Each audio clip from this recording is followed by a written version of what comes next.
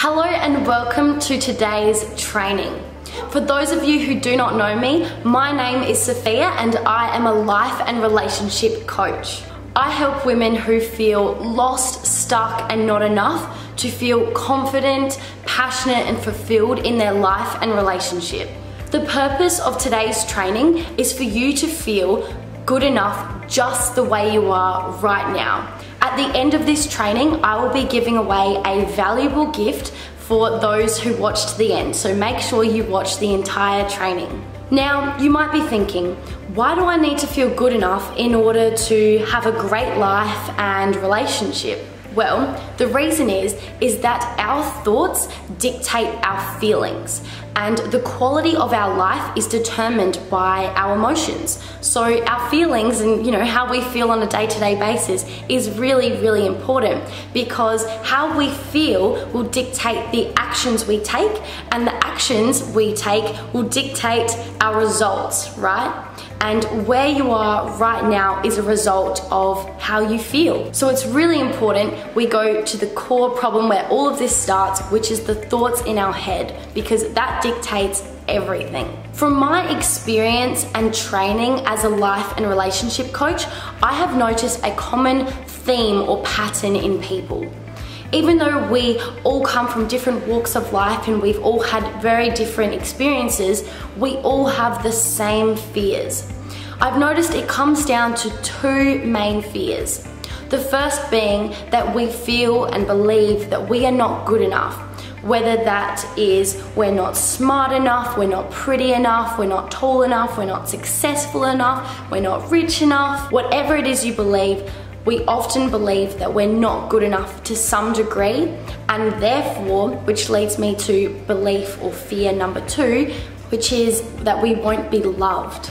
And they are the two most painful fears we as humans can have that we're not good enough and that we won't be loved. Money, fame, and success are not enough to counter if you do not feel good enough just the way you are. And I think many famous people have showed and proved that to us.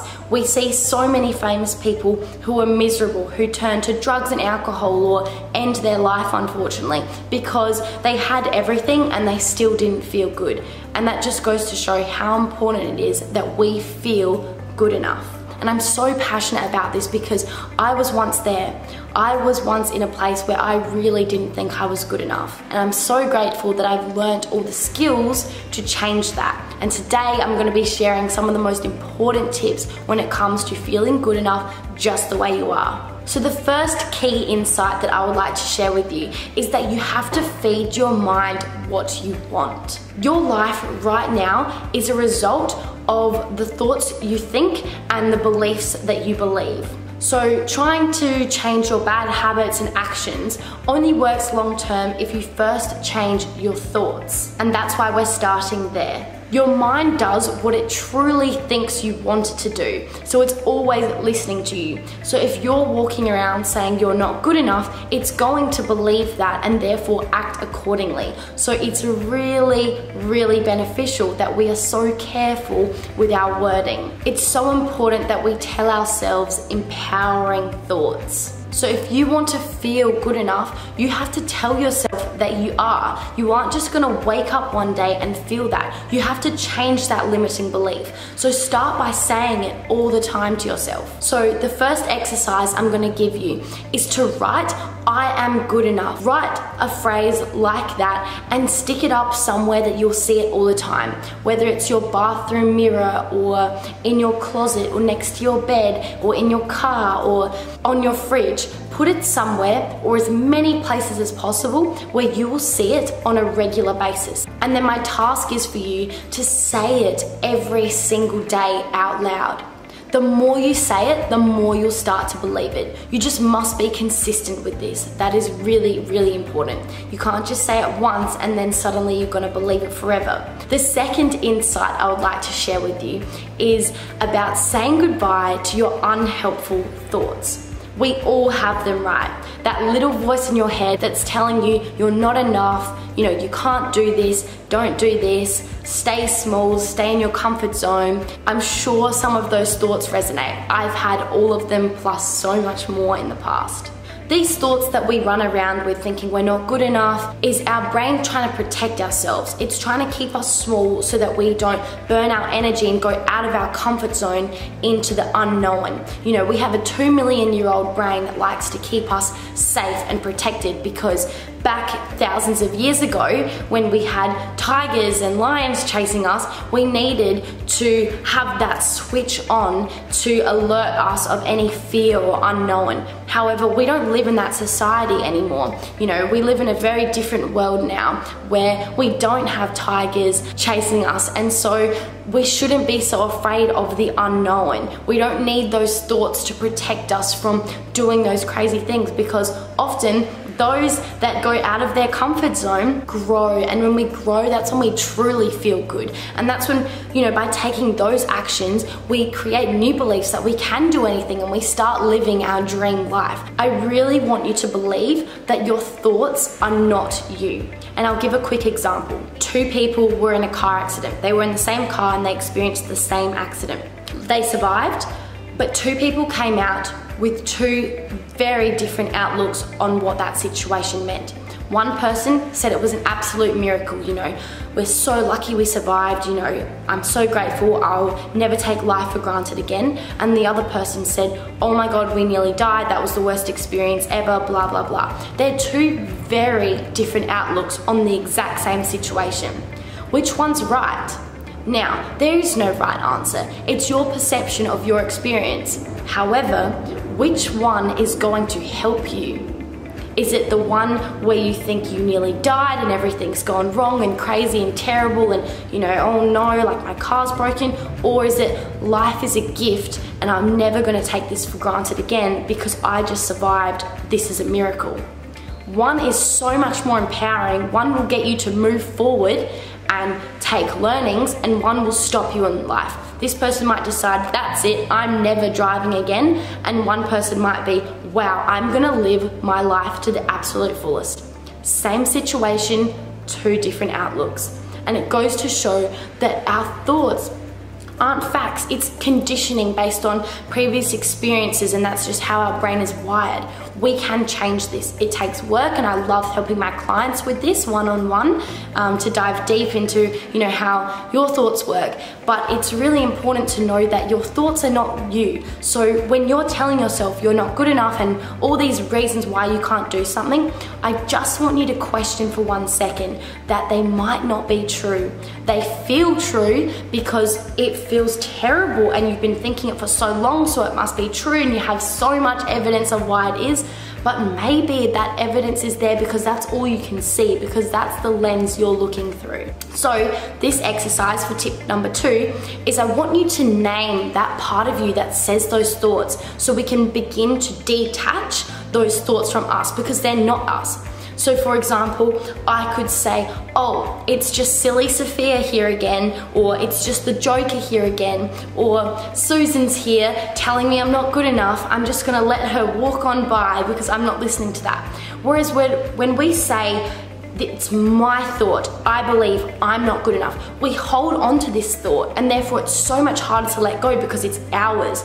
But if we give it to that person, that little voice in our head, you know, it's not ours and we can so much easier let it go when we anticipate it coming. I know these thoughts are gonna come. I've done so much work in personal development over the last few years and those thoughts still come up for me when I attempt new challenges and step out of my comfort zone, which is something I'm doing on a daily basis with my career and um, my goals, right?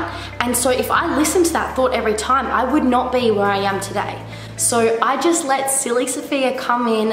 Hello, yes, I can see what you're trying to do here, but you know, have a good day, goodbye. Just, you know, make it fun. Talk to that little voice in your head that's not serving you, right? Detach from it. So that's exercise number two. And my third tip for today is repetition, repetition, repetition. We're gonna have to make anything that is negative in our life any negative thoughts really unfamiliar. So right now, it might be pretty familiar for you to say, I'm not good enough. Well, we're going to make that unfamiliar by not giving any energy to it. And we're gonna make anything positive and empowering really, really familiar by using repetition. we are going to be saying these things all the time and repeating it in our mind and forgetting about the familiar. We're going to make this very unfamiliar. For example, you might want to make exercising familiar.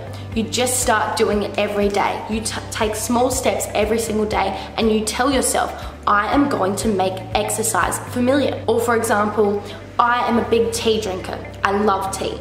And many, many years ago, I used to love a lot of sugar in my tea. I couldn't drink tea without sugar. I decided one day that enough was enough. If I'm gonna drink tea multiple times a day, I cannot be having all these teaspoons of sugar. So I decided to make sugar in my tea unfamiliar. At first, tea without sugar did not taste good, but I knew if I just kept drinking it, eventually I would like it. And I completely transformed the way I thought. And now I couldn't put even half a teaspoon of sugar in my tea. It would be absolutely too sweet. And a few years ago, I would have had at least four teaspoons in one mug of tea. So I made sugar in my tea very, very unfamiliar and I made sugarless tea very, very familiar. And you can do this too. I want you to do one small thing in the direction of your goals and your dreams every single day. That way, even if it's the smallest step, you're guaranteed to move forward because you're taking baby steps towards what you want every single day. You must commit to that. If you don't, you're not gonna follow through. You have to make taking action towards your goals very familiar. That is now the type of person you are. I'm the type of person who takes action towards my goals every single day and I make that familiar even if it's uncomfortable. So the third exercise I'm going to be sharing today is to decide on one habit that you are going to make unfamiliar. So a bad habit that is currently in your life and you're going to make that unfamiliar.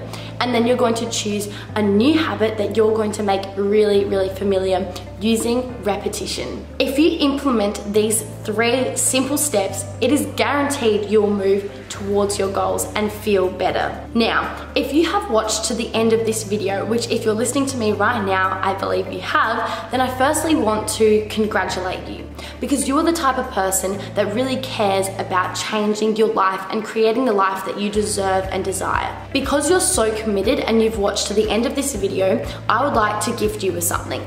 I am extremely passionate about helping women to take their life to the next level and feel good enough just the way they are so that they can transform the quality of their life and their relationships. I'm gifting you a 45 minute free coaching experience with me one on one. You and I will dive deep into where you are, where you want to be, and how you can get there.